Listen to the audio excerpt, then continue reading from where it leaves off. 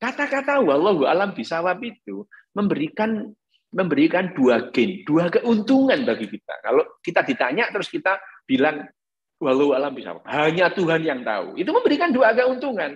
Yang pertama, karena dia tidak tahu dan dia bilang Tuhan hanya Tuhan yang tahu, orang-orang saat dunia itu sama gobloknya dengan dia. Karena hanya Tuhan yang tahu itu. Nah, pokoknya nggak ada orang tahu, itu hanya Tuhan yang tahu itu. Yang kedua, dari posisi dia tidak tahu, dia menjadi tahu, dia tahu bahwa hanya Tuhan yang tahu. Itu itu bagi otak kita itu memberikan dua gen gitu ya. Jadi kalimat hanya Tuhan yang tahu itu memberikan kenyamanan yang luar biasa di otak kita gitu. Terlepas dari itu benar atau tidak, tidak penting.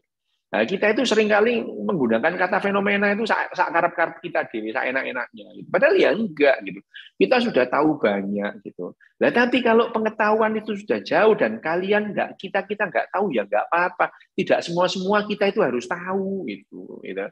Enggak KBKB kue kudu ngerti gitu ya. Ada hal yang enggak tahu juga enggak apa-apa gitu. Bagi dokter, bagi saya gitu itu. Saya tidak perlu tahu caranya membetulkan pipa ledeng, nggak perlu tahu saya itu ada tugasnya sendiri. Gitu. Lah ngapain saya terus sekolah STM lagi untuk membetulkan pipa ledeng? Gitu. Itu nggak gitu cara kerjanya dunia ini gitu ya. Tapi kita harus tahu bahwa ahlinya tukang ledeng itu ya tukang ledeng gitu. Kita jangan sok-sokan tahu gitu ya. Sains juga demikian gitu ya. Bagaimana otak kita itu memang otak kita tidak disiapkan untuk memahami kebenaran.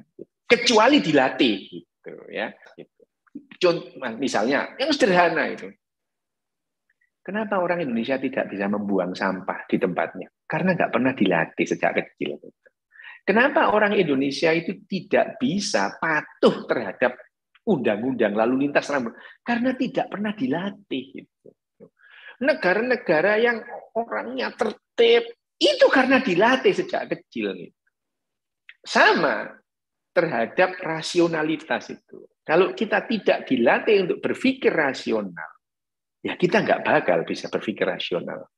Ya, karena defaultnya kita memang nggak rasional, otak kita tidak disiapkan untuk itu. Gitu ya.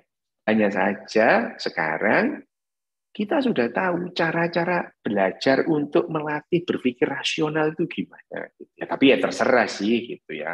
Mau berpikir nggak rasional juga nggak apa-apa. Gitu. Nah, rasionalitas kita berkembang belakangan ya ah, baru kira-kira 300 tahun gitu ya 300 tahun secara menyeluruh ya tapi kira-kira sejak 1000 tahun yang lalu ada orang-orang pemikir yang dianggap malah dianggap tukang sihir gitu ya Nikolaus Kopernikus malah dianggap pendusta agama hanya sekedar mengatakan bumi ini mengelilingi matahari itu enggak boleh bertentangan Otak kita juga demikian. Ya. 350 ribu tahun kita hidup dalam dalam kehidupan yang memerlukan emosi tertentu dan itu di, diturunkan langsung kepada kepada saat kita lahir. Kita pada saat lahir kita punya kemampuan-kemampuan itu semua, kemampuan jalan, kemampuan berdiri, kemampuan makan tanpa mikir gitu ya. Tetapi kalau tidak diajari matematika ya nggak bisa. Karena ini adalah sesuatu yang baru kita kenal gitu. Tidak ada bayi yang baru lahir langsung bisa kalkulus itu enggak ada. Gitu. Tapi ada orang yang percaya bayi di kandungan itu itu bisa baca Quran. Loh itu ada loh gitu. Buya Hamka aja ketipu kok gitu. Karena Buya Hamka percaya kalau Tuhan itu mengendaki semua serba mungkin. Bayangin aja gitu. Ya, Wakil presiden ketipu itu. Ada itu kisah Cut Sahara, Sahara, Cut Sahara ini ya, tahun 70-an.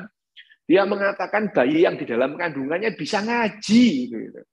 Padahal ternyata ada tape recorder yang disembunyikan di perutnya. Nah itu itu apa ya keajaiban miracle magic itu. Saya kasih tahu ya, magician, tukang sulap, magician doesn't believe in magic gitu. They some trick gitu.